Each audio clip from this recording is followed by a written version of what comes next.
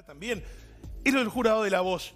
¿Qué pasó, chiquilines, frente a la presencia, frente al desempeño de nuestra compatriota Jennifer Suárez días atrás? ¿Por qué? Porque no oprimieron el botón. Vamos a repasar la actuación de Jennifer en La Voz y luego móvil en vivo, donde vamos a charlar con Jennifer que nos va a relatar su experiencia. Lo vemos.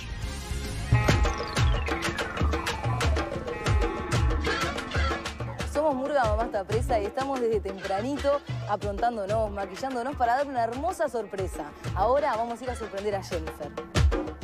Convocamos a Jennifer a una plaza y está a punto de recibir una gran sorpresa.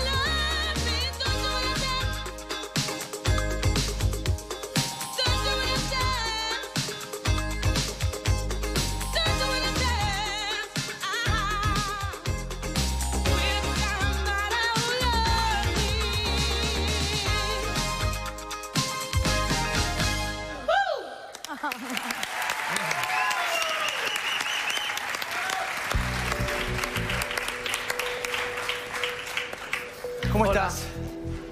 Bien, bastante nerviosa. Sí, me imagino. ¿Cómo es tu nombre? Jenny, Jenny, ¿de dónde sos? Montevideo, Uruguay. Mira, qué lindo. Jenny, ¿sabés qué siento yo un poquitito? Que obviamente los nervios se manifestaron, sin ninguna duda, y, y en tu lugar creo que sufriría lo mismo.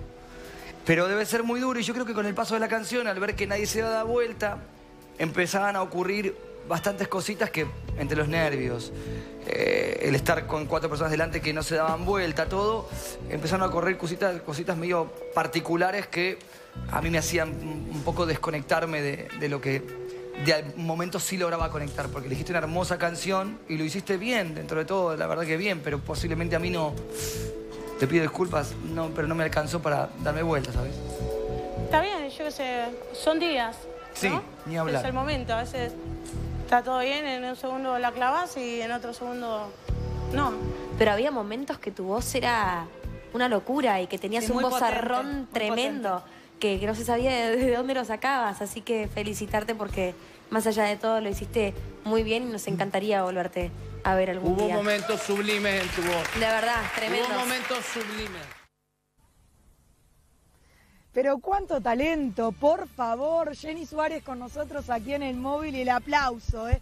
el aplauso para esa voz, para esta chica que tiene 27 años y que bueno, te pusiste un poquito nerviosa. ¿Qué te pasó, Jenny? Buen día. Hola, buen día. Eh, nada, sí, me, me, me trabé un poquito, sí, en, en la mitad de- del tema, como que caí un poco eh, en todo lo que estaba pasando, pero y descuidé un poco la, la presentación en ese momento. Contanos qué se siente estar en ese escenario frente a ese jurado. Claro, me imagino que, que no debe ser nada fácil. Fue la elección del tema. ¿Qué pensás que, que pudo haber pasado? A ver. No, yo no pienso que haya sido el tema en sí. En realidad eh, fue un poco cosa de, de la adrenalina de- del momento que a veces te juegan contra. Y bueno, nada, sí, era un jurado de lujo, eh, el estudio era enorme, eh, muchísima gente y demás. Y como que en un momento como que caí en eso y, me, desestabilicé a la, hora de- cantar. ¿Y qué pasó después? ¿Se te acercaron? ¿Te dijeron algo? ¿O bueno, ya no los viste más? A ver, ¿qué, pasa por un participante que se presenta ante ese escenario? El después estoy hablando. Y después, en realidad, me, eh, me dieron una devolución, que por cierto fue, fue muy linda. Sí. Este, y no, yo en ese momento estaba medio, medio en shock, ¿no? Como que no, sí, o sea, eh, es como, ta, sentí que, que, que en realidad eh, había fallado en ese momento, ¿no? Entonces, tipo, estaba como medio en shock, pero, pero nada, o sea, me dieron una devolución muy linda. eh, después hablé con Marley y nada, cuando terminó de, de- el programa ahí, este, tuve como, como un encuentro ahí con Sole y tuve la oportunidad de, por lo menos eh, darle un beso y saludarla, que es algo muy lindo porque, porque ta, yo la admiro muchísimo como artista. Contanos, Jenny, un poquito de, tu historia, porque desde los nueve años eh, sos artista callejero eh, y bueno, te dedicas a diferentes cosas. No solo cantás, sino que también eh, has hecho de todo hasta cocinar, me dijiste. Sí, sí, sí, he hecho un poco de todo. Este, eh, mi vocación es, sí es cantante. Yo desde que tengo uso de, de- de razón eh, quiero ser cantante, ¿no? Y lucho cada día por eso. Pero sí, la vida me ha llevado a muchísimas cosas. Eh, he trabajado de cantante, eh, he hecho temas de cocina, o sea, ayudante de cocina y cosas. Soy muy buena con la plancha, de hecho. Este, y no, también he trabajado en fábricas y cosas así. Y sí, hay que hacer de todo, Jenny. Bueno, y ahora acá en Uruguay, eh, ¿qué vas a hacer? ¿Vas a seguir eh, cantando? ¿Querés pasar un número de teléfono ya que estás? Aprovechás porque haces eh, también eventos. Ya tiro el chivito, Ay, sí. claro, sí, aprovechalo. Bueno, em, nada, sí, eh, hago shows y eventos em, por contrataciones en 092-363-500. Bien, el Eh, teléfono queda en producción igual. Hago, hago shows, eventos, eh, despedidas y cosas así. Todo Este, ahora el, el 10 de noviembre voy a, voy a, tener, voy a estar en, en una fiesta ahí que, que es una rumba colombiana, de hecho, este, que, bueno.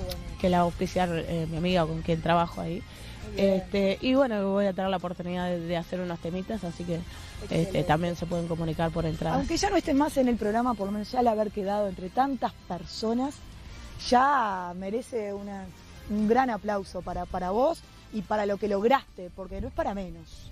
Bueno, muchas gracias. Em, en realidad eh, todo sirve, todo sirve. Yo creo que, claro, o sea, más allá de, de, de, de- de todo, es, to- todo te, te demuestra para aprender, ¿no? O sea, siempre va a haber una, una próxima vez que, que, que uno lo, lo, lo puede llegar a hacer ¿Y mejor. sabes cuál es la próxima vez que lo vas a hacer mejor? Es esta, es esta, porque para cerrar el móvil, Jenny tiene su revancha ahora en Buen Día Uruguay. Así que el micrófono es todo tuyo.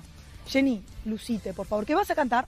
Em, no sé, te canto algo en español mejor, algo más quieras. tranqui, em, algo de, de, de la quinta estación, ¿puede ser? Excelente, adelante. Y bueno, dice más o menos así. Hace días perdí en alguna cantina la mitad de mi alma más el 15 de propina. No es que sea el alcohol la mejor medicina, pero ayuda a olvidar cuando no ves la salida. Que todo va bien aunque no te lo creas, aunque